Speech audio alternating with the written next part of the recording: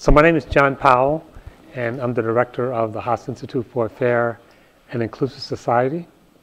Um, as a, we had a meeting earlier, we actually are considering a name change. I'll just say that. Maybe something about belonging. I don't know. Um, but today we want to welcome you and thank you for coming, and a special thank to Larry Adelman, uh, who produced uh, a number of really important uh, documentaries dealing with inequity, dealing with health.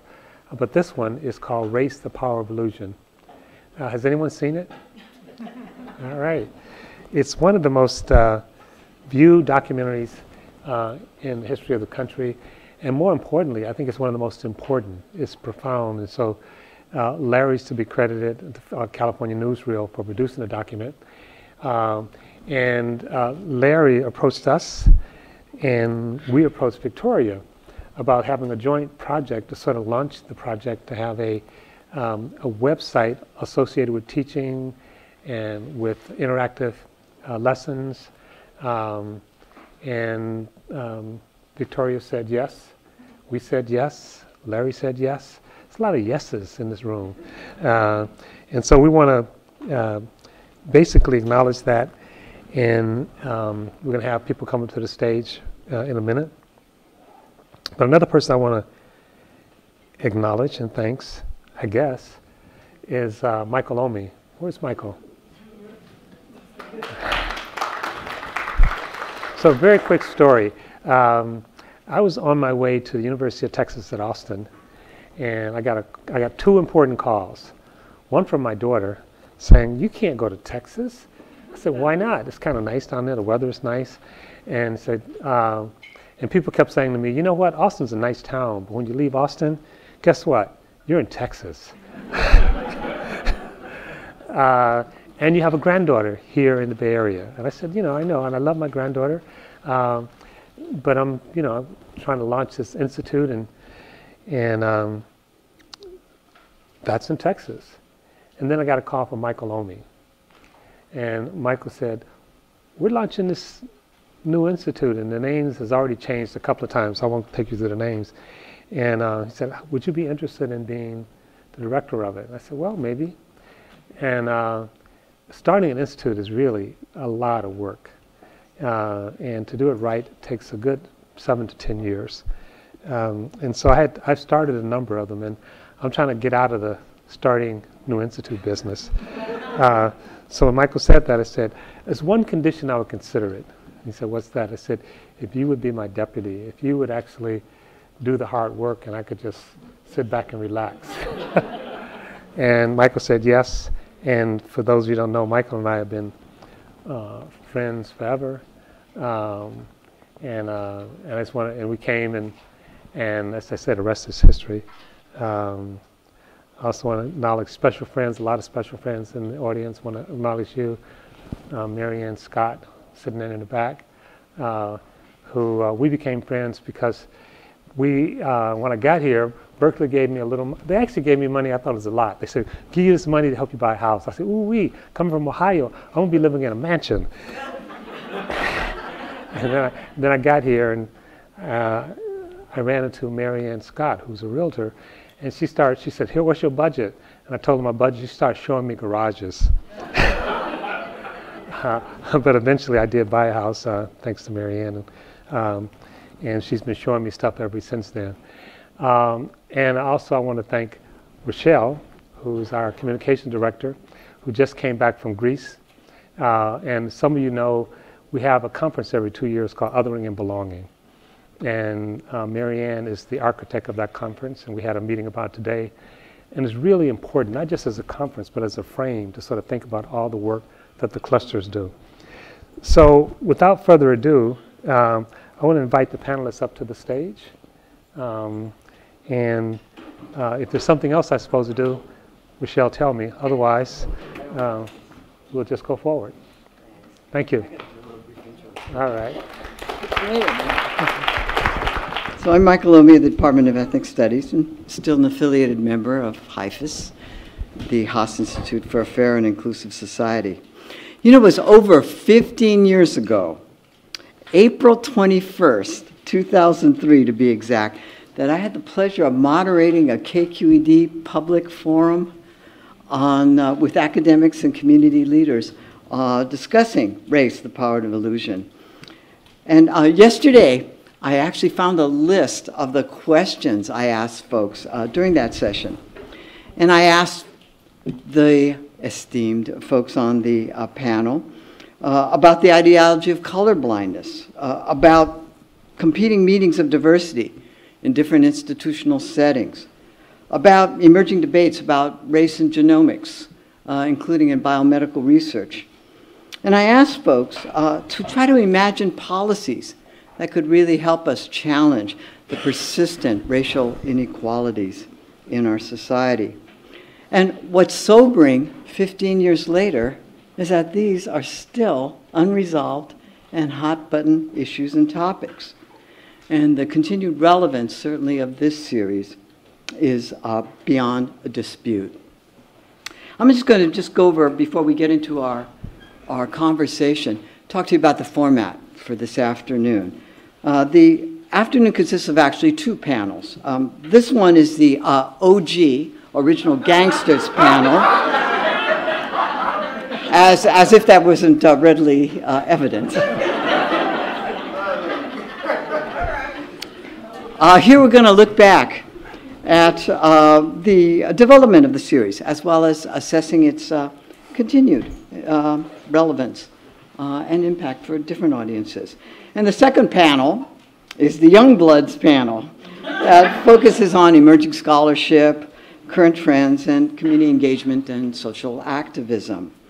And we want to hear from you as well, uh, but we're going to take Q&A after uh, both the panels, and we'll try to keep those up, panels within the manageable time frame as well. And then they'll be followed by a reception and also perhaps some opportunities to look at the uh, new website uh, that will supplement race, the power of an illusion. Uh, so my fellow uh, OGs are Larry Adelman and John Powell. Um, John covered some of this, so, uh, but Larry Adelman really is the creator and the executive producer of the film series, and he's been a longtime co-director and head of publications also for California Newsreel, which is one of the oldest uh, nonprofit documentary production and distribution centers in the country. Uh, he's done a lot. He's also been the creator and executive producer of the multiple award-winning documentary series Unnatural Causes. Is Inequality Making Us Sick? And uh, The Raising of America, which focuses on early childhood and the future of the nation. John Powell, who I'm glad found that parking space, is executive director of the Haas Institute for a Fair and Inclusive Society and the Robert D. Haas Chancellor's Chair in Equity and Inclusion. Also finds time to, to teach and be a professor in law, African American studies, and ethnic studies. John's most recent book is Racing to Justice, Transforming Our Concepts of Self and Others to Build on Inclusive Society, Build an Inclusive Society. If you haven't read the book, uh, please do so.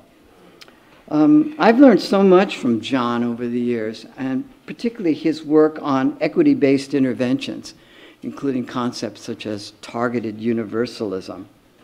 I also want to say that John has great taste in soul and R&B music as well, much to his credit.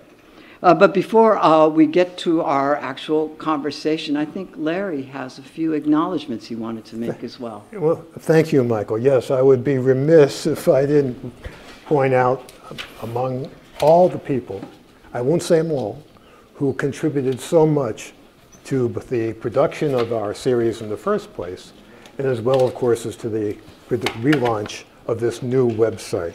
Um, so I thought maybe I'd tell a brief story about that rather than just rattle off some names because um, it was clear that a couple years ago that this original site, which was built in 2003, um, pbs.org slash race would need to be updated you know, time does change. Um, so what I did is I called, first thing I did was call Gene Chang. Uh, Gene is the program manager here at the Academic Innovation Center at Berkeley. But uh, what probably most of you don't know is that Gene was also the associate producer of Race, The Power of an Illusion, and indeed the producer of the original website um, at pbs.org slash race. And she has a tremendous experience in, in, in digital exhibits, working for the Exploratorium and elsewhere. And Jean says to me, well, why don't you do it here at UC Berkeley? And I said, what? Well, why don't you write a query to John? See what he'd say. And, uh, and ask if HIFIS might be interested. And um, meanwhile, however, Jean at the same time was talking to Victoria Robinson and also to uh, Rochelle Tanas, from your wonderful director of the Media Resource Center, who knows what films everyone here is using, by the way. So, uh, um, and hence the conspiracy to bring it here was born. Um, we then all met with Puanani Forbes. Puanani is here somewhere, or was. Uh, I hope she's still here. Ah, there she is in the back. And uh, who's the Haas, the HIFIS. You, you call it HIFIS or Haas? We call it both. I can do no wrong. The Haas Chief of Staff. Uh, and after talking with John, they gave a go-ahead and committed the resources backed by uh, the ACES program, the American Cultures program that Victoria runs in the Media Resource Center. And um, at that point, uh, Rochelle Galway Papatas, pop, pop, We just don't pop, say it. pop, back, just back from Greece. joined, joined the team. And uh, we were off. But I think I want to just say that Jean is queer, I think all would agree, was absolutely indispensable to getting this new re- website launched and uh, rebuilt. From concept, worked on it from conceptualization to implementation. Uh, in fact, I was still getting, she even helped plan this event. I was still getting emails from her this morning. but uh, Victoria and Giselle's hard work and brilliance were also key to making it all real. So I, I just want, as Jean herself would be first to testify, so I just want to make that clear. Um, Jean, Victoria, Giselle, and, and Rochelle uh, worked with Lu- Lucas Gilkey and Lulu Matute, Evan Bissell, and Conrad Fulbrook to help conceptualize the site's design. And then Mark Abzide, also at HIFIS, who's uh, running this event at the moment, the logistics on it, joined the team and worked incredibly hard uh, along with um, the uh, web design team, Black Antelope, to bring the ship to shore. So helped by Doug Parada and uh, Gibran Huerta. So I, I want to give everybody a Yeah. of applause, really. Because the result, because the result, as you'll see, is a, just a terrific new site. It only, only has new video clips that are up, uh, videos by faculty here test, look, talking about what clips they use and how they use it in class and to what end. It has backgrounders, quizzes, and it's built in a way in which it'll be expandable so that other people can bring up, so you can bring in new and updated material to make the site continue to be a living site um, now and in the future. But I'm not done. because while I'm here, I really need to do, I would be remiss, please bear with me, um, if I didn't just thank a few more people. Um, because rarely in the production of this series have I ever been involved in a, in a work where so many contributed so much so generously, and that's what made it all possible. And I, I, am, I and all of us should be deeply, deeply in their debt. Our advisors, of course, um, led by Troy Duster, who unfortunately can't be here today. Uh, Troy was just wonderful um, and was the first, and, and he was the first of a group of world-class scholars uh, such as Richard Lewontin, uh, Evelyn Hammonds, Audrey Smedley, Alan Goodman, um, and our moderator, Michael Omi, uh, who steered us right, gave us stories and resources, uh, critiqued scripts and rough cuts, and on many occasions, more than once, kept our feet from entering our mouth. Um, and Michael's book, Racial Formation in the United States, along with Howie, uh, Howie Winant, was, um, was one of our core texts. We used it, uh, referred to it oftenly, off, often, and their re- your revised third edition, Why Do We Revise, was published just a few years ago. So I urge people to check it out. I don't know if I talked to you then or later, but at some point we talked, and you, And John's work was absolutely indispensable in his participation in the series, as well as in our future projects as well. So that was a great fortuitous meeting. Um, and my colleagues at California Newsreel, who provided the support to get this going. Uh, my co-director at the time, Cornelius Moore, who's over here. Uh, Steve Guy, who's in the audience. I want to thank you too. Um, and then the, I want to say just a little bit about the funders who decided to take a flyer on such a crazy idea. I mean, it sounded good on paper, but how are you going to do this on film, for God's sakes, right? Um, first, the Independent Television Service, the ITVS, led by the late Jim Yee, who was indispensable, not just with money, but with counsel, and also with dealing with PBS. Um, enough said. Um, the Oakland-based Akonadi Fund, uh, brand new at the time, uh, came in with finishing funds, and Quinn Delaney will be here, said she'd be here later. Um, and, uh, but most of all, um, I want to thank our major funder, the Ford Foundation. Uh, and, and I am so happy that their founding director of their Media, Arts, and Cultures program, someone you know from here at Berkeley, uh, you know well here from her work here over the years, um, Professor Margaret Wilkerson. I want to, seriously. Yeah. Um, professor, professor of uh, African dias diaspora studies as well as uh, drama, theater, and literature, or performance studies, I guess is what we call it now. Um, because without your faith and trust when we walked in and discussed this film the first time, and, and using your wonderful sharp elbows there at Ford Foundation, this, this film just wouldn't got, get done. And not only that, more, she gave the encouragement to go all the way. Don't do a halfway job. Really, if you're going to do it, just, you know, damn the torpedoes, whatever. Um, go all the way, at first at least, and then pull back. so I, wa I want to thank you because, um, you know, and, and I also want to say that you have a uh, biography of Lorraine Hansberry that's coming out. Mm -hmm. Yes, yes. You know. And she was also one of then our episode producers, and then I'm done. Uh, Christine Herbes-Sommers, Lou Smith, and Tracy, Tracy Strain um, were the led our wonderful production teams. And Tracy's film um, on Lorraine Hansberry is, which Dr. Wilkerson was an advisor and on camera talent, is about to be rebroadcast on Friday on American Masters on KQED. So check that out if you haven't. Um, finally, those who breathed life into the series, those who really gave it life are those who used it. Um, without people who um, you know, the, the, the educators, the community leaders, the civic officials who integrated it into their own work, it would simply be a flickering image on the screen. That's where, you know, that's, that's where it happens. It happens. You're the folks who use this film who make it happen. Thank you. Oh, thank you, Larry. Thank you. Yeah, thank you all. Yeah, I'm glad you had the opportunity to really like acknowledge all the folks who uh, made the series happen. But um, so we finished now. Yeah, you've used up your time. but but let's do a brief, brief backstory. Uh, it's the dawn of the 21st century.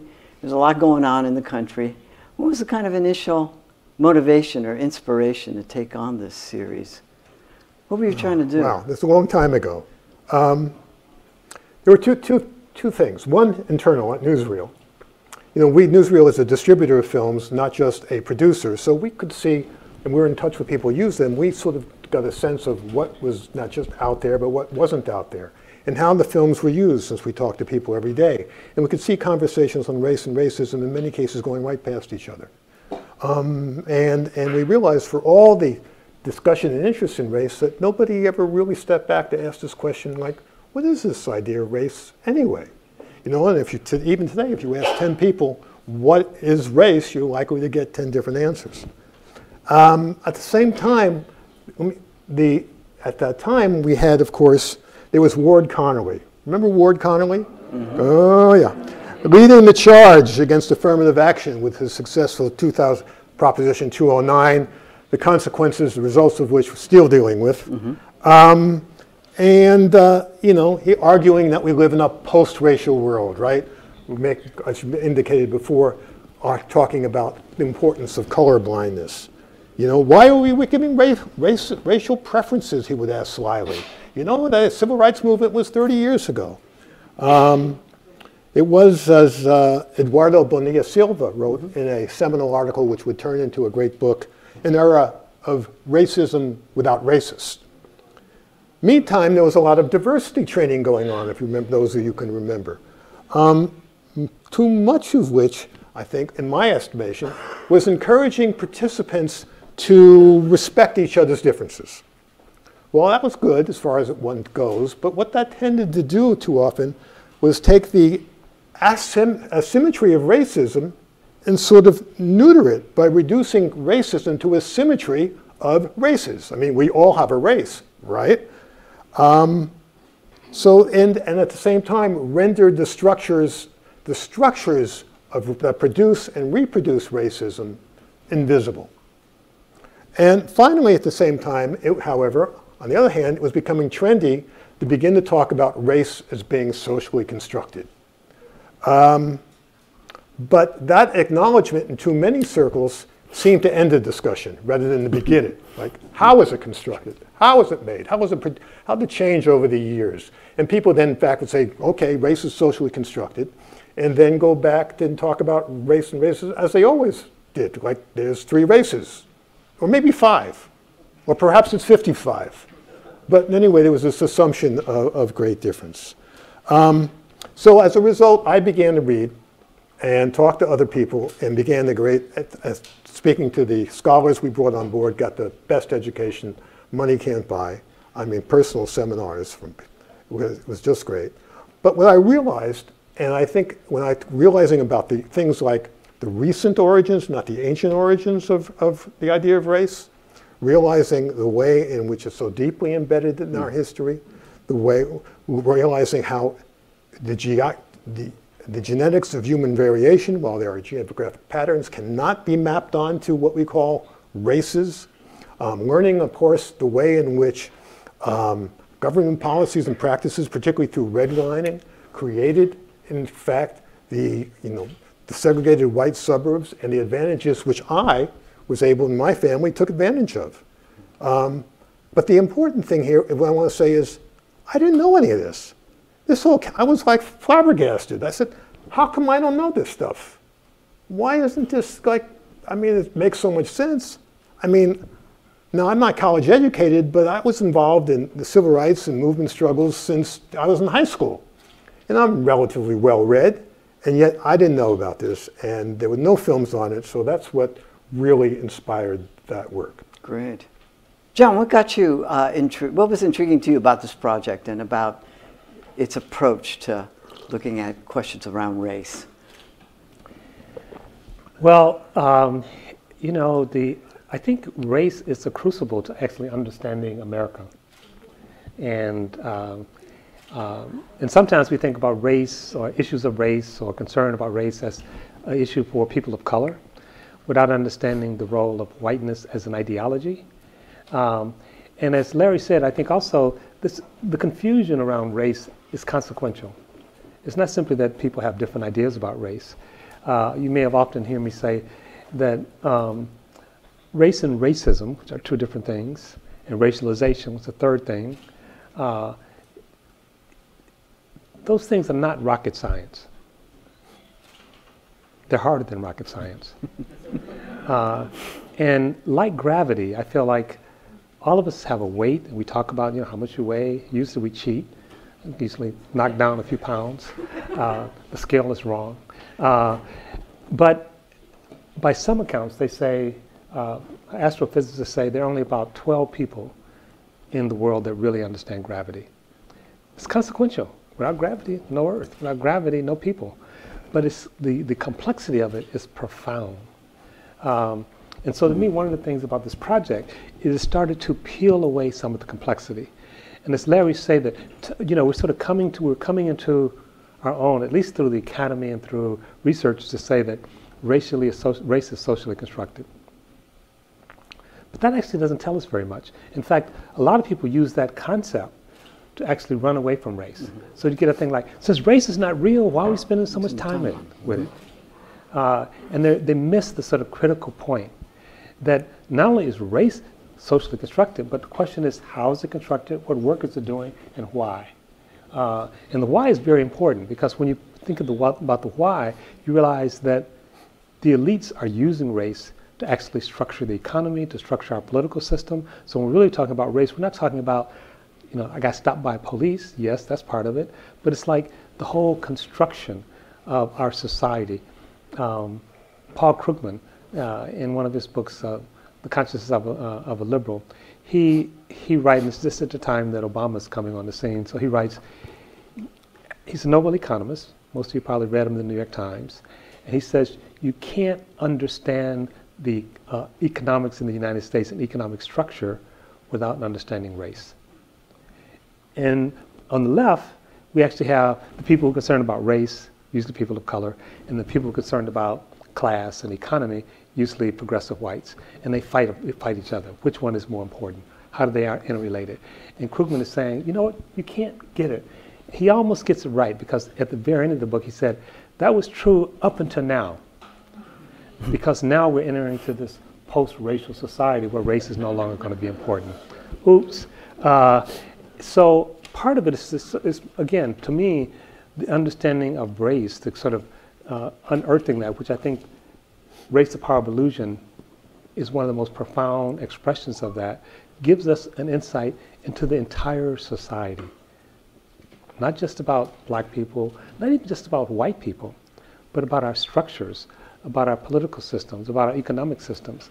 Uh, and if, if we really understand it, it also hints at a way to go forward. So I often say, one, race is a process. Race is a, a, verb. It's not a thing. It's a verb. It's a process. What are we doing? How are we doing it? And two, that it's actually changing, informed by very eyes. The way we, and it gives us insight into not just race, but into identity, period. So one of the things I oftentimes say as well is that it's not simply that race is socially constructed, which it is, but so is gender.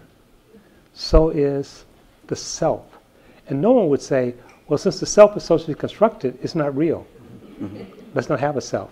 Uh, and so race is a maybe a, a, scientific fiction, but it's a social fact with serious consequences. Um, and again, I think Race the Power of Illusion, the film, began to do that. And the last thing I'll say is when I showed the film to friends and including my father. And those of you who know me know I always talk about my father and my mother. My mother passed away. They're sharecroppers. My dad is 98, uh, creeping up on 100. Uh, and he's lived most of the, many of the things in the movie.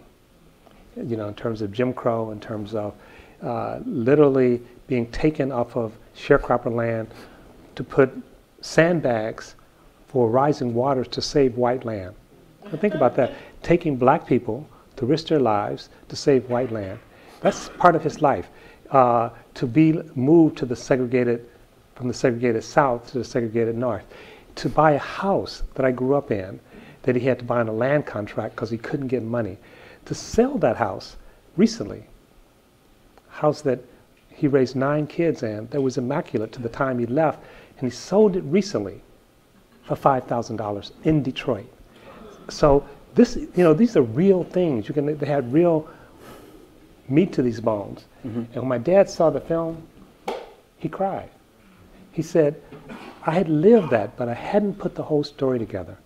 These were incidents. I hadn't realized there was a through line. So again, so when, like many people, when you think about race, you think about being black or being whatever, uh, but not about where he lives, not about where his kids go to schools, not about the fact that my great grandmother died because she couldn't get into the hospital because of the way we organize race. Uh, so the film helps us see all that. Uh, so to me, uh, the only regret I would have in terms of the film is that, you know, there's, I mean, how many have you seen the movie Fast and Furious? There's Fast and Furious 1, there's Fast and Furious 2, there's Fast and Furious 3. I, th- I literally, I think we're up to eight now, you know? So we should have Race and Power Illusion 1, 2, 3, 4. so I know Larry wants to kick back and, and sort of enjoy life, but we need, a, a uh, we need not only the website, we need the next version of Race the Power of Illusion. Yeah. You know, the, the film series is, is organized along three broad, what you call rubrics, frames, lenses. I don't know if you could, either of you maybe talk about why that, the decision to organize the series in that form and whether or not that form still has continued relevance today. And why don't you tell them what the three Okay. rubrics are? Yeah, he should explain that. Well, in For those of you who haven't seen it. in essence, the, the three episodes, each an hour, is the hi- history of the idea, the, um, the science of human variation, and of course, if race doesn't is not biologically innate, where is it lived, Where is it produced and reproduced? And that is the way in which how it manifests itself today, and by disproportionately channeling power, status, and wealth to folks who look like me, white folks. You know, you mentioned your father. My story, my family is the flip side of that. You see, I grew up, we, we, my father in the GI Bill was able to get a house in a, one of those post-war suburbs in a place called Merrick, Long Island on the South Shore. And as a result, when that house appreciated in value, when my father was able to, uh, when he retired and sold that place in 1990, the house that he had bought for, uh, for I think, 19 or 20 thousand dollars many years ago, he sold for 300 thousand dollars. We're talking 1990. So that's an appreciation of value of how many times from 20,000 to our math whizzes here um, to $300,000. And with that money, he was able to help three kids go to college. Well, one dropped out. Um, hel- helped helped his his kids put down payments to their homes. That's how we got our place. Help with the down payment. Um, whereas, you know, and so, but I didn't know this story, and nor did anyone else. All those white kids who grew up in that white suburb didn't know that story. And that white suburb was adjacent to a town that is in the show called Roosevelt, which became a black suburb, if you remember. And not only that, we're th- only three miles from, from Levittown. Mm-hmm. So in a certain, there was a, let's just say there was sort of a personal interest in trying to sell this story, tell that, that particular story once I learned it. But I didn't know it. And this is what was blowing my, how could I not? Right? Was I living with blinders? We all were. As white folks, you know, we just didn't get this stuff. The history of the idea, that was one, that, let me, and I'll stop at that one, um, is, was also, you know, I, I like to, to quote Mark Twain's old adage that it's not what you don't know that hurts, it's what you think you know that ain't so. And our president um, proves that every day. Uh, but it also has to do with race. For example, I really thought that race was racism, race and racism was always part of Western culture. Now, prejudice, there was people saw differences, but the idea of race, the idea of this innate biological difference, really began. If you follow the work of, say, uh, Barbara Fields and Edmund Morgan and others, not with slavery, actually, but with democracy. You know, up until then, slavery had been an unquestioned natural fact of life. Nobody questioned it. There were hierarchies. You know, there was uh, the, the peasant and the lord, you know, the, the lord and the king, the king to the king of kings. There were these natural hierarchies, and slavery was part of that deal. By an accident of history, which, you know, Africans became slaves here in the United States. And then, however, and, and lived side by side with indentured servants from, from England. And then, however, in early, early colonial North America. But then we have Jefferson and those self-evident truths that all men are created equal. And as Fields and others points out, for the first time you have this radical affirmation of freedom and equality. And as a result, and this is believed, this is the walking stuff of the people who were making the building, making our Revolutionary War. As a result, for the first time, slavery needs a radical mm-hmm. defense. It never needed a defense before. Of course, the slaves protested, but among the rest of the folks. So how is it in a na- the nation, mm-hmm. how is a nation that professed a profound belief in equality, how could they the only way they could justify slavery or rationalize slavery was say there's something different about those people. They don't have the capacity for freedom. And in that sense, the began of the, you see the beginnings of this notion of race as an innate biological difference, which base, but, it, but racism, she argued, gives birth to this idea of race. Not the, it's not the obverse. It's not that we think of people as different, and then it's the fact that we have people who are, who are oppressed, a group of people who are oppressed, and that oppression then needs to be justified or rationalized. Now, it's a little more complicated than that, but the simple thing. And then that, that idea of race becomes a template. It becomes an all-purpose justifier, right? For the Indian removal and genocide, for the Mexican-American War. You look at the Chinese Exclusion Act.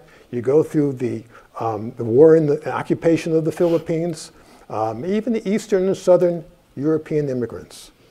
It's still used. That, and it was just, again, all this stuff was just so mind-boggling for me that demanded a film of its own. So that's how we sort of, each of these subjects, the, the history, and, we, and that's why we called it, by the way, race, I, this, that episode, the story we tell.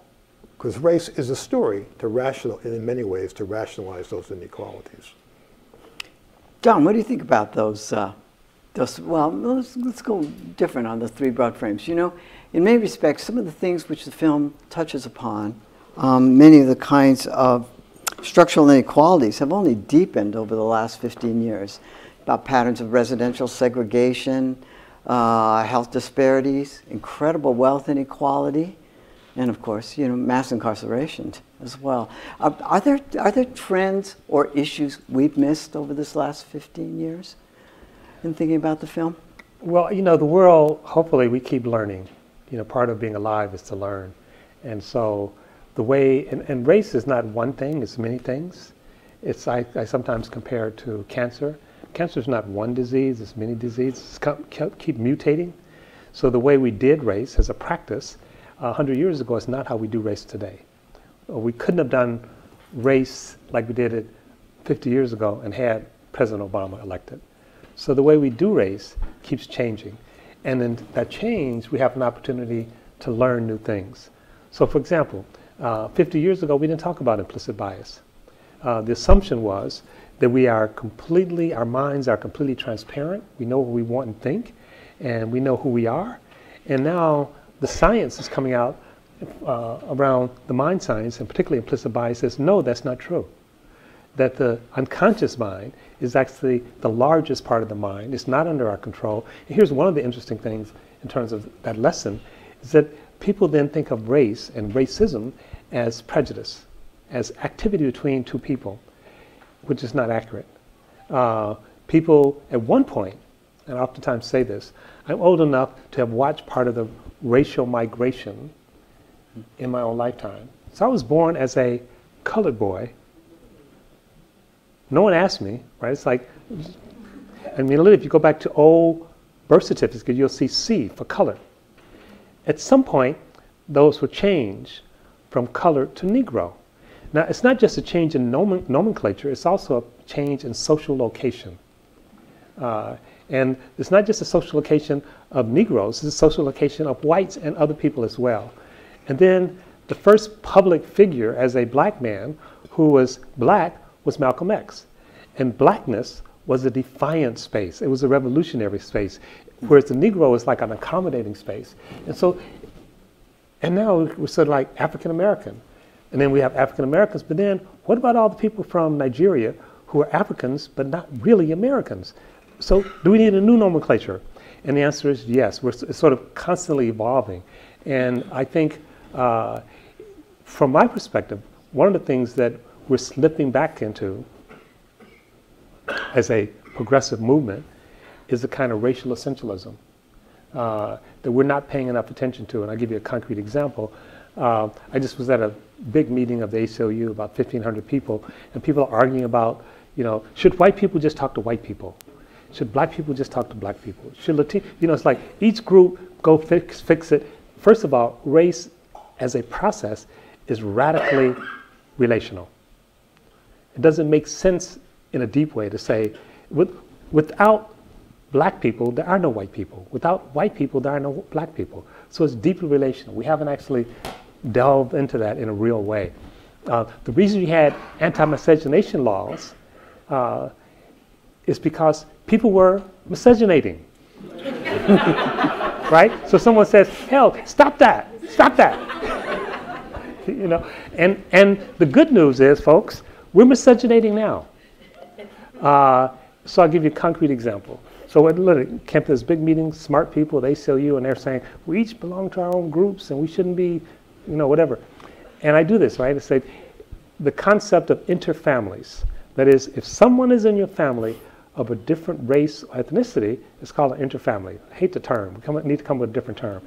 Uh, so just as an experiment, is someone in your family, in your intimate relationship of a different race or ethnicity, raise your hand.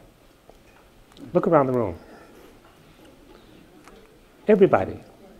So when someone says, this is one of the things we haven't learned, Michael, when someone says, well, you know what?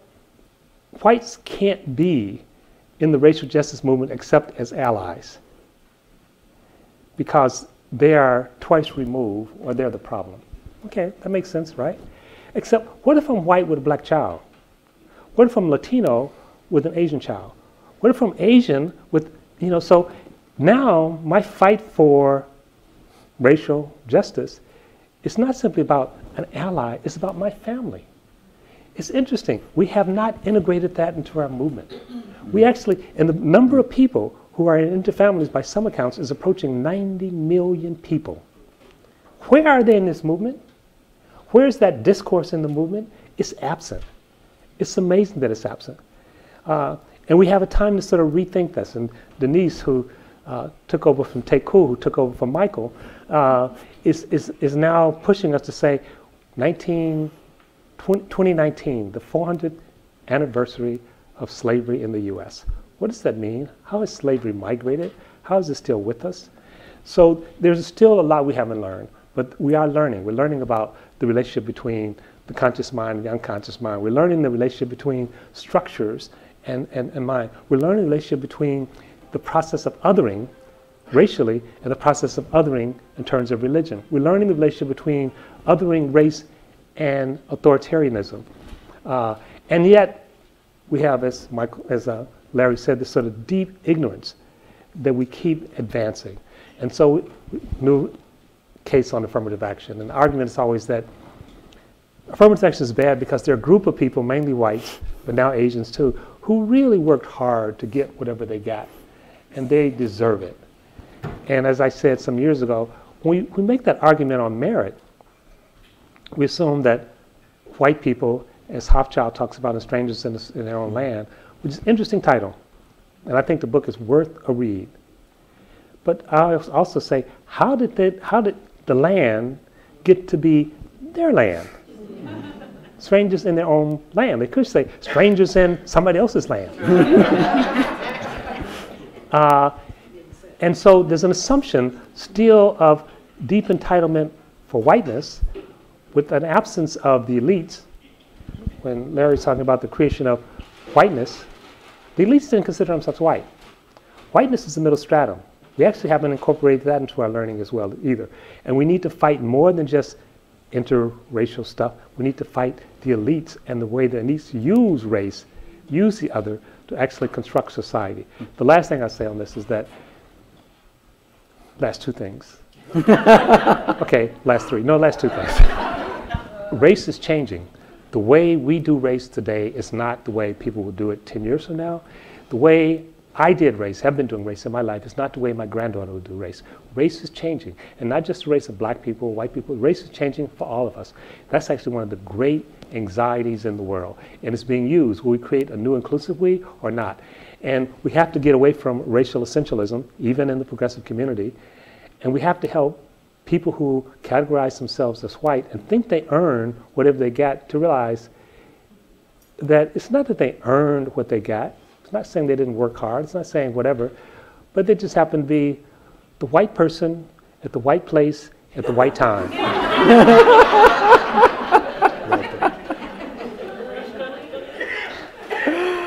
That's good. Make a good book title.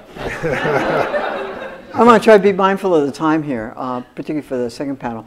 Larry, I'm going to give you the uh, last opportunity here um, to say something about what's been interesting or surprising to you about the reception to race, the power of an illusion, and its enduring impact. Most obviously, I think that it's still being used 15 Yeah. years after its, its, um, its release. And I, I suppose on the one hand, that's a, a tribute to us and the job we did. On the other hand, I think it's really sad.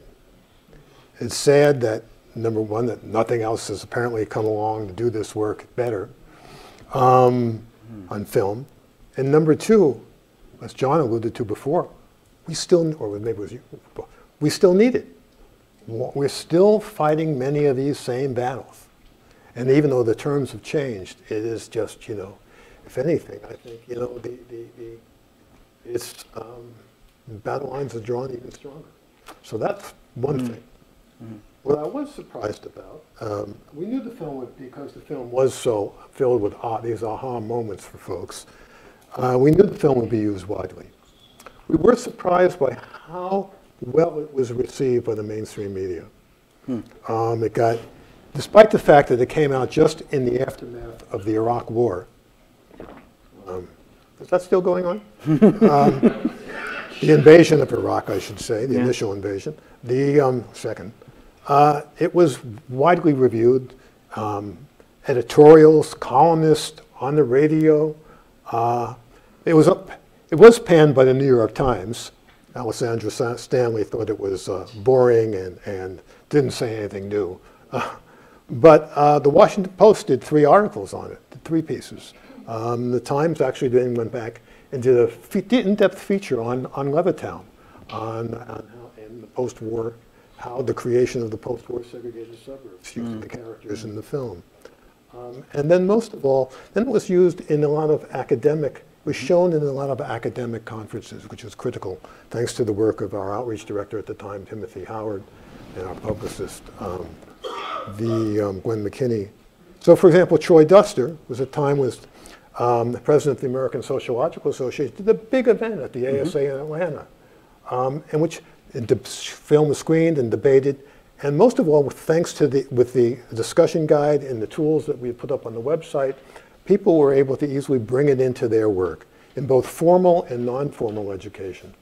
And so how widely it was used, I, I mean, we knew it would be used, but the fact that it became, the fact that my nephew said to me one day, many years ago, if I have to see your film one more time, you know, that, that surprised me. That's great, thank you. Well, listen, I'd like to thank my uh, fellow OGs here, and um, we'll do this again in 15 years. But uh, we'll transition now to the second panel. Thank you. Thanks much. So I'm Victoria Robinson. I have the great uh, privilege of being the director for the American Cultures Center. But I just want to point out, is Ron here? Ron Choi? Here's Ron. Ron actually made the AC Center what it is. He created the community that it depends on and nurtures. And um, Ron Choi was the co-conspirator, thought partner with Troy in putting the American Cultures Program together. So thanks for all that you've done and that I've inherited, Ron. Um, so the AC Center helps to govern the American Cultures curriculum. How many people in here have taken an AC course? So the rest of you who haven't and need to, come and see me afterwards. But the AC requirement is the only campus graduation requirement. And as Ron would often say, could you imagine a group of UC Berkeley faculty actually deciding on anything, right? One thing and agreeing on it? Um, and what would be the thing that they would agree on that would be so important that the one campus graduation requirement that you couldn't, this was it, this was your singular Berkeley experience, you couldn't get away with graduating without it? What would be the question? And it would be race. And the American cultures requirement um, is hooked into the ways in which race is singular and central to the American experience, and how its comparativity, its relationship to our social structures, to its ongoing dynamism, how that's always present in the way in which we experience America. So, for those of you who don't know me, because you're like, what the hell's this white British woman up there doing? As director of the AC Center, I always say, revenge. So anyway, enough jokes. That's how we um, we thought we'd roll today. Uh, I want to be. I'm just really grateful that we have these these three wonderful people up up here with us, and so many others in the audience. But first of all, let me say that this uh, new website that accompanies the film, the great film, is trying to do the next layer and level of work that's been named on the stage already. Is that no pun intended, the fundamental DNA of Race the Power of an Illusion is still there and intact. And what we did with a group of thought partners across campus is imagine its 21st century experience. What would it look like to take this film into the next generation of its life and engage the ways in which we, as public, as community, as academics, are thinking about the relationship of the film today? So I invite you to have a look at what that, that looks like. We've reframed and founded some of the ways in which we think about the questions in the film. We've created questions around new structures of the film, and we've really depended upon the expertise of the UC Berkeley community to imagine how we think and teach about the subject framework today. So I want to thank all the Berkeley faculty who've already been interviewed. As you look and experience the website outside on some of the laptops, you'll be able to see um, these Berkeley experts thinking about their own work. And if we've not approached you yet, you are so not off the hook. Just you wait for that email, and then we'll get you on camera too. So um, what I have here is uh, three colleagues from across the campus who I think are going to be able to really engage us in these new dimensions of the film and the relativity of, of the film to their work today. Dr. Darlene Francis from the School of Public Health and Neuroscience. Um, the big AC course that she used to teach in integrative biology takes its name from one of the films that is inspired by Race the Power of an Illusion. And the course was called Unnatural Causes Is Inequality Making Us Sick? Sound familiar? Yeah. One of the most popular AC courses in the biosciences here at, at Berkeley. Dr. Jason Corburn in the School of Public Health and City and Regional Planning. Can you see how hard we make our faculty work that they have to have multiple appointments? We're bad models of Bad models. Jason teaches again one of these big AC courses, um, of which the legacy of Bill Satariano is written into that course. Bill also used to use um, unnatural causes in the framing of this big introduction to community health. 350 students at the last count, right, Jason? And then Lulu Matute, who um, there's a bit of nepotism going on here because Lulu and I are great friends and she's a student of mine. Lulu is a fantastic organizer, scholar, is joining a caravan from Honduras to Mexico tomorrow. The work that she's presented on this campus through the Haas Scholars Program problematizes the very categories of thinking that is being framed by the immigration debate too, which of course are anchored into our understandings of race and racial others. So can you please um, welcome our three colleagues to the stage.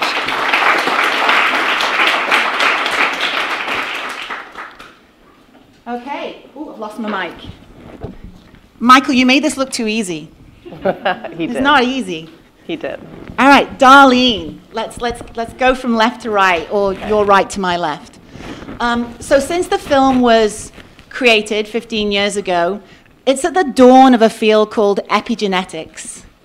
Now, epigenetics is something that um, is very central to the work that you do. Can you tell us where that field is now since the launch of this film, and how central is the connection of race in epigenetics? So I feel like I almost want to connect something that um, Larry and John said, talking about how we operationalize and define and where a lot of um, the current field comes from. Because we're talking about epigenetics, but I think we have to talk about the construct of genetics and where that comes from. And so in my work, um, I we were talking about the sort of the massive platforms now where you can go and genotype yourselves and sort of have your ethnic heritage reported back to you and all of those things. Um, and I forgot that I had done that ages ago for myself, and so I just went to see my most recent uh, 23andMe profile. And I'm curious how many people in the room have um, used any of those platforms to look at your, just raise your hands high. So quite a few people. Um, and and it's, it's interesting and sort of as a scientist and as a neurobiologist for me it was even it was it was really not about the science for me it was actually quite personal when I did that um, so I am a neurobiologist I started my my research and my training as an undergraduate as a gen- somebody who was really interested in genetics um, And if I ask you, we're talking so much about race and sort of Victoria standing up there and declaring, you know, her identity. So if I had to ask the room to categorize me in any of those three, five, or seven races, where would you, where would you lead with? Huh? Mixture. Anybody? Yeah. Yep. Anybody? I'll, I'll ask you to define which, which, of, why I said that. Yep. Is because I know what I am. yep, So we are one of those. yep, yep, We're all mutts. yep. Anybody else? That's not a category though, right? So that's not a category. Uh, so I've been in the US, I'm Canadian. If you hear me say about, uh, you'll know that I'm Canadian. Uh, and I came to the US at age 30 and I had a PhD in neurobiology and I was doc, I was introduced everywhere as doctor, doctor, doctor. Um, and I, and I was doing my HR paperwork and I was doing research training at Emory University in Atlanta. And the HR people were really angry at me because I refused to check any of those boxes. I'd never been asked to identify my race ever. For 30 years, it was just me. Uh, and uh, I made a lot of people happy because they got to they got to, to, to get cre- you know take credit for all of this measure. Um, so my father is black, and uh, black from Nova Scotia, and there's a really interesting history about the black population in Nova Scotia, which is related to the slave trade. Um, so I, I printed up my 23andMe really to sort of for entertainment purposes. So that's how I use this platform for purely entertainment purposes. Um, and then my mother is First Nations Micmac, and the world treats me like a white woman and my experience is going through the world and my little sister and I look like all of the women in my mother's family. And my voice quivers when I tell this story because it's life. Um, and my sister looks like all of the women in my father's family. And we've had such different trajectories with similar opportunities, similar uh, home life.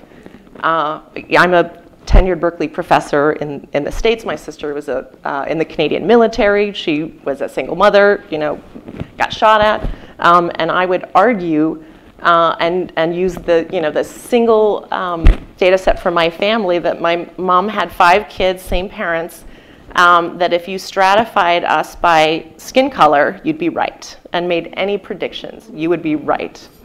Whether we're talking about health, whether we're talking about wealth, whether we're talking about uh, opportunities, whether we're in, in any category, you would be right. So think about that. And I go through the world um, uh, being treated, you know, dramatically differently from my siblings. So uh, when I was finishing high school in the late 80s and early 90s, I studied genetics because we were told, and I was told, that genes are the answer. All of the variability that we experience in the world is due to genetics. And so if I'm going to understand why I'm a white kid in a black, and my siblings identify as black, uh, and I don't identify as anything, right? So I can tell you how the world treats me. Uh, and when it matters, you know, the, the, narratives that I tell for, for purposes. But um, uh, I study genetics because that's where all the answers were going to be. And the, the longer I spent uh, uh, going deeper and deeper and more reduced and more cellular and more molecular, the further away I got from what I knew to be my experience and how that was represented. And so the research that I do is really look, is debunking a lot of this gene-centric, again, we're talking about race. Uh, I, would, I would extend that and, and say we need to talk about our genetic constructs and, and the role of genes. Uh, because that really is underlying these platforms and the presumption that these genetic differences are creating or dictating our reality. And so my research is really demonstrating um, controlling for all of the, the usual critiques and, and, variables that our lived experiences are really the most powerful predictors of outcomes that most of us care or many of us care about um, and using that in different platforms and so uh, I forget how I started this. Oh, so I, I, I was going to share my 23andMe. Darlene, So- as you do that, can you Yeah. say, but wh- what, there is some fuel going on. You just saw how many people in the room actually said they'd done that genetic testing. Right. So are, Yeah. what kind of misconceptions are being fueled by So let me, testing? let me tell you, for folks who've done it, do you understand how they interpret, how they generate that data to feed back to you? So how, how that happens? So it's really easy and inexpensive now to genotype. So in my research program, every time we would get access to different genes, we would genotype ourselves in the lab for fun. And I'm interested in stress and social behavior, I, truly for fun. Um, and it was, and you know, it was expensive. And now that it's so affordable, so it, so genotyping is the easy part. Right? The science sort of that extracting, taking blood or taking saliva actually for these tests is super easy. Now you can do it for 200 bucks or 100 bucks. So that's the easy part. Um, and then you send it off and then you get data back. And, and so few people know what happens between when you spit in that saliva tube and when the data comes back. And so uh, I printed this up. Actually, I just went to their website thinking about what we're going to talk about. Um, and I actually didn't know what the sample sizes were. So the genotyping is done in the lab to Breezy, extract your, uh, your DNA and sequence it. And then to get your uh, categorization back about your ethnic heritage or racial heritage, it's really um, statistical programming and modeling. And I would argue, and, and for certain, that folks who are engaged uh, in issues of race and ethnicity and those topics are not at the table framing these discussions. Uh, and I can promise you that I am not represented in this, in this right? So uh, no indigenous populations from North America or any of the Americas are captured in any of the platforms that are currently genotyping. So there's that. So, and think about how many billion people are on this planet and the total sample size for these reference populations that they're feeding back to all of us is 11,000 people. So in this room, we captured more diversity than, than that in this room. So how on earth, so I use it for entertainment purposes and for teaching purposes. Um, and so, you know, the, the most recent example playing out in popular media with um, Elizabeth Warren and mm-hmm. Donald Trump, not my president. Um, so not my president um, right? The arbitrary, the ridiculousness of that. And there are no indigenous people who, are, who have contributed to any of these populations. So my questions are, who identifies the populations, who defines what the populations are, um, what informs those decisions, and because these are commercially available platforms, I promise you that what's overrepresented are rich white people, right? uh, and what's not represented are uh, people who can't afford to do this, and, and certainly not any of us who are um, anything, anything in between. Mm. Well, because as you as you named it, this is exciting and um, entertaining information. We'll come back to you in a second if that's okay. Yeah. So Jason, uh, so Jason, you famously wrote a book called Street Science, and I'm really interested in asking you kind of a couple of questions. So one is that, um, as we already heard from John and Larry and Michael, that the ways in which race was used to create the tools of redlining, how property and space and opportunity and wealth are so interwoven, and how in the work that you do with communities around health equity work, how are you seeing those very exclusions then create the basis for new exclusions? And what does that look like and how you're thinking about your work. But secondly, and I have, does anybody know the great Carlos Munoz? Professor of Chicano Studies and Ethnic Studies, right? So he famously thinks about in social movement theory the idea that communities have been segregated. So those, those very ways in which communities are pushed into um, places and geographies that create um, a specific kind of unit of belonging, how segregation becomes congregation. And so it's really interesting that we're at this moment, perhaps, and John pushed us into this, this thinking of the idea of, of race being a positive. Like identity being a place that we belong to, that we congregate round, that we create knowledge from. And in your book, Street Science, you're really trying to remind us that the ways in which we think about the issues that are circulating in our lives, the communities that are most impacted from by them already have, in some ways, the knowledge and experience to deal with them. So I'm wondering if you can talk more about geographies and exclusions and identities around racial categories also being places of congregation, a place to come from in a positive sense and not just in a negative sense. Yeah. Um, Victoria always has the most challenging questions. um, it's so nearly cocktail time, so just you wait. Yeah, so I can talk about the book, but I, I was going to also talk about the, the, the, power and the impact of, of the film in my own uh, teaching and, and, and, and, research. So I really work uh, at the intersection of, of place and racism uh, and how that has shaped people's experiences, health outcomes, opportunities, uh, particularly in the United States, and the growth and the creation of places like cities and neighborhoods and suburbs are completely racialized, as many know and have already been said in this country. And I think, um, uh, so in my own work, the, the film, for example, is really important because it, it provides a historical context and a trajectory of a set of overlapping decisions. This didn't just happen by magic, and, and uh, the role of, of uh, you know, intentional institutions that have excluded uh, and using racism um, to, to exclude uh, by place and land and to gain wealth and, and all the other things. I thought Darlene was going to talk about eugenics because then I was going to have a comment about eugenics and its you know kind of reemergence in, uh, in the modern moment. But importantly, um, you know the, the, the film touches on eugenics uh, as a historic, its historic moment, which influences and had a strong influence in, in many sciences, including public health and our statistics we use today, and city planning as it rises to, to figure out how to um, design quote unquote healthy places and justify uh, access to suburbs. So it's an important um, anchor point, but of course it doesn't go away. And I think for me, that's a really important um, aspect of the film and what we're talking about here is that we haven't really learned many of the lessons um, that the film kind of you know uh, exposes us to.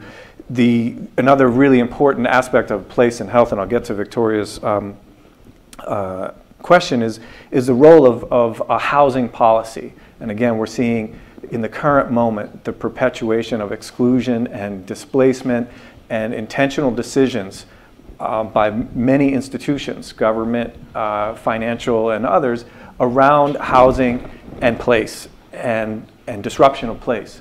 Uh, that's obviously was racialized uh, through federal housing policy and uh, Jim Crow segregation, um, and that hasn't gone away. And we haven't taken on explicitly in this country in, in any real way, I don't think, racial residential segregation, not as a historical but a contemporary challenge that continues to shape opportunities for different folks. Um, so in terms of my own work now is, is really working in partnership uh, with communities, for example, on issues of environmental justice. That folks who are experiencing exclusion and the burdens, how that gets into our bodies, like Darlene's work, um, but how they see that in their everyday lives, have a form, I argue, and many others, is not unique to me, a form of expertise that we often ignore in science. Another way that we've um, racialized and excluded who counts in the evidence that's supposed to drive our decisions. So, uh, my work really tries to value uh, people's local knowledge, their lived experience, as actual science and part of the data that ought to be heard and brought to the fore to change uh, power relationships, to change decisions, to change inequalities uh, around exposures, around uh, decisions around who gets access to um, a housing or land, or how uh, local government decisions are made. Um, I just came this morning from a team uh, that I'm working with of, of folks who are, returning from prison, reentry population, um, who are working in their communities as street outreach mentors to reduce violence and really uh, bring a set of healing skills to communities that have been uh, historically traumatized. So we don't recognize this as really valuable. It's seen as you know the fringes of different fields, and what I'm trying to really do in my own work and with that book and, and other things, uh, and in collaboration with a lot of folks here, is, is to center that um, in, our fields and in our discipline and in the work things we should be teaching here at Cal. Thanks, Jason. We'll come back to that. And then Lulu is a young scholar who was also involved in constructing the website and thinking through um, how it would demonstrate um, a new generation of thinking around the work of race. How do you take up the work of race that comes from power of the race, the power of an illusion, and how does that influence how you think and how you organize? Yeah. Thank you. How do I take up the work? Um, well, first is unlearning everything I've learned. Right? Um, and I think that. Hopefully not from me. No, no, no. I'm keeping some of that. Just unlearning race in the way that I've grown up. Um, and Thank you for sharing your personal narrative. I'll, I'll, add, I'll add to that as a racially ambiguous person that I identify with. Um, my parents are from Honduras. Uh, my dad's from the Caribbean island of Roatan, and my mom's from the mainland. Um, she identifies as Lenca indigenous, uh, Garifuna mother, so black grandmother. My father's family is both Lenca and Spanish. Now, uh, from Spain, my last name Matute coming from the port of Spain. Um, in my family, around our dinner table, It's a rainbow coalition, right? And likewise, our experiences are very different. Um, and my process of unlearning has also been an unlearning of race here in the US, right, on the Berkeley campus, um, and an unlearning of race when I go back to the island because I experience race, right? Uh, phenotypically, I'm read very differently on a Caribbean island, right, uh, than in a Berkeley library. Uh, also, what I'm projecting out into the world based on geography changes. Um, and, you know, I am an American born citizen. Um, I hate that I have to lead with that often, uh, but I do because there are all these privileges that are tied to that. Um, I'm also fairly, relatively light skinned, and there's so many privileges tied to that when I make it back home to, to Roatan or to Honduras. Uh, my sister, who um, you know, phenotypically is read as India, indigenous, um, is four feet 11 inches. And when we walk next to each other, um, everything changes, right? The way people read us walking into a room together, the way she interacts with me, meaning she walks behind me. You know, the, these weird little nuances that we've had to unlearn. Um, first, me personally, having to unlearn them, uh, but then as a family, having to unlearn a lot of what we internalize from um, navigating the world and navigating geography in these different spaces. Wow. That's, that's quite something.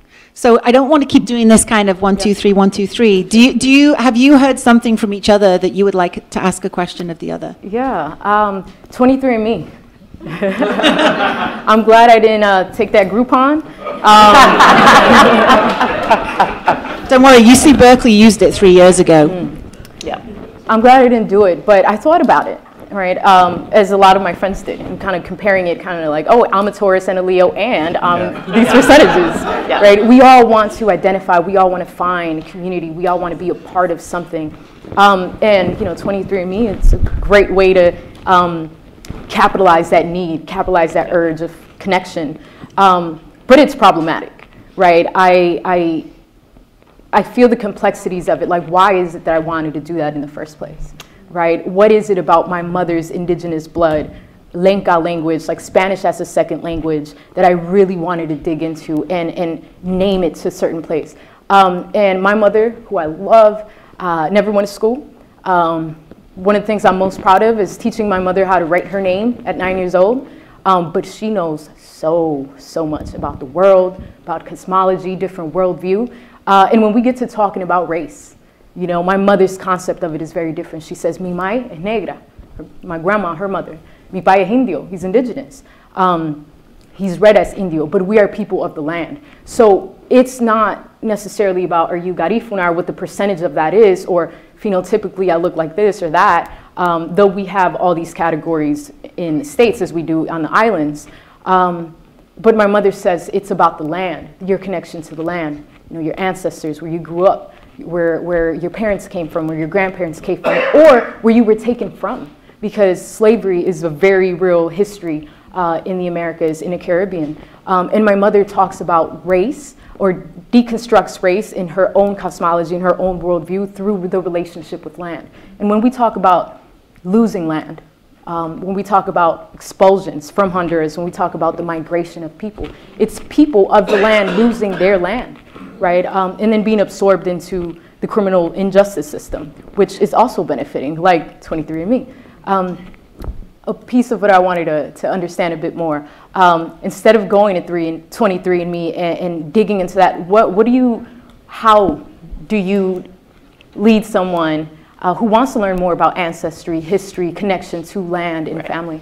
So I will come full circle to how I meant to answer the first question, which did sort of get to eugenics, which is sort of the, how I do that as a scientist. So I do it in my own work, and my research is a pain in the ass for my fellow scientists because it's so hard to study context and history and development. Those are the hardest things, and we don't have the methods to do that. We really don't have the methods. Um, in the School of Public Health, we teach, we have two courses focused on social epidemiology. One is a methods course, and one is sort of the contextualized how we're discussing today, and they're two separate courses. Like we have, we haven't figured it out as academics, um, and certainly there's no satisfying my my path talking about starting as a biochemistry and genetics major and then discovering the brain. So I went all in on the brain, going if I want to understand where plasticity is at the level of the body, then it's got to be the lived experience in this organ that's transducing this, um, which led me in all sorts of different directions. Um, but the graduate course, I, I, would argue, so Thomas Kuhn, who wrote Structure of Scientific Revolutions, uh, was quite a pessimist about change, and he wrote an, uh, an epilogue to Structure of Scientific Revolutions seven years later, and he came back to sort of being a, a little bit more optimistic and arguing that unless we are effective communicators, we can go nowhere. Uh, and again, my experience as a neurobiologist has been completely separate from my person. And it has, it's infused my work, but my pedagogy as a science student had none of this. Right? So I found race, power of an illusion after I, I, I came to Berkeley in 2005. Um, I found unnatural causes, and then I found all of Larry's work, and then, then I got to know Larry and go hang out with him. Um, and I use, I use these sort of in teaching all day, every day um, to, to really just reveal for specific, particularly students from STEM backgrounds in science who just, we, we don't, pedagogically, we do a terrible job. And that hasn't changed in 15 years or 20 years. Um, students who come find me for to take you know my graduate course I, I'm very resolute that it's not or absolute that it's not a methods course that you're this is a course about uh, ideas and history and contextualizing science and they disappear those students disappear. So we still have biologists here, and we still have social scientists here, and kudos to the students from, again, uh, who are, uh, this is a graduate level course, who are from they're, they're um, students who want to make, make, a difference in the world, so they're learning an awful lot about gene expression. They're learning an awful lot about the, the sort of one of the first classes that we discuss is uh, Francis Galton, who's responsible, who is a eugenicist, um, and most of students had never questioned our concept of the gene, right, or where that comes from, and yet we're genotyping ourselves and we're attributing or over attributing. Um, all of the things to, to this gene-centric view of the world um, but we still live in a biological world and we live in a sociological or psychological world when uh, all of my research is demonstrating the intersection of that.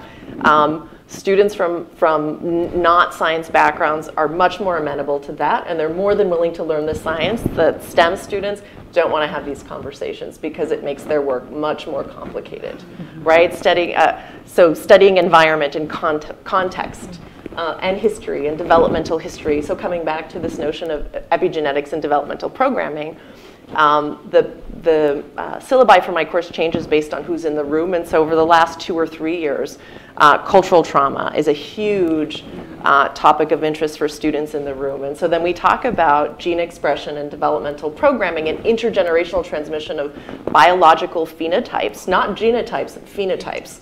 Um, and so, uh, so I reveal for them, right, so that it's the, the science is not unwieldy um, and that you're doing, you're asking all of the right questions. But I, I have much, I'm much more optimistic about students who are coming from non-STEM backgrounds than students who are coming from STEM backgrounds. And that's my direct experience. So we're in I the just- Banatao just- I just auditorium, so I th- hope somebody's listening to this. But yeah, Yeah. Jason, No, how does this make you think about your work? uh, Piggyback on this comment and, and say, I appreciate that, but um, we need to do better. That if we're only relying on the social science type or Yeah. humanities people to have this awareness that race is not genetics. I teach a community health class of uh, 300 plus undergraduates last week or two weeks ago, whatever. You know, I asked them how many thought uh, race was genetic. About half of them raised their hand because that's what they're learning in their majors of molecular and cell biology and integrated biology Absolutely. and every other place right here in this building and, and on this campus. Or they're not learning it enough from Darlene and others uh, on this campus who are pushing back against that notion. So, you know, I, I- don't think it's good enough that we say, let's make sure that people who understand social context and stress and racism and how that gets into our bodies, um, it, it- you know, Yeah, and, I- and, and where they're coming from, and they'll take the, the, the outlier courses or get into the outlier uh, AC experiences. Uh, we, we need to center this again in these disciplines that kind of perpetuating Yep, racism. I agree. I would argue, yeah, our, our pedagogy is so far behind, we're decades behind. Pedagogy these and research. Like, why do we continue to fund. Yeah. folks at the NIH or the NSF who continue to kind of be in this space? Yeah, yeah, I'm, ex- With I'm big ex- money. Yeah, I'm exhausted with funding mechanisms where I, I have to convince my fellow neuroscientists that these things matter, and sometimes I can get two of them, uh, who are then, and, and but I can't ever get the third, right? Like not the appropriate funding mechanism because I have to convince them that the things that we know matter the most matter to them, and it just doesn't happen. It's exhausting.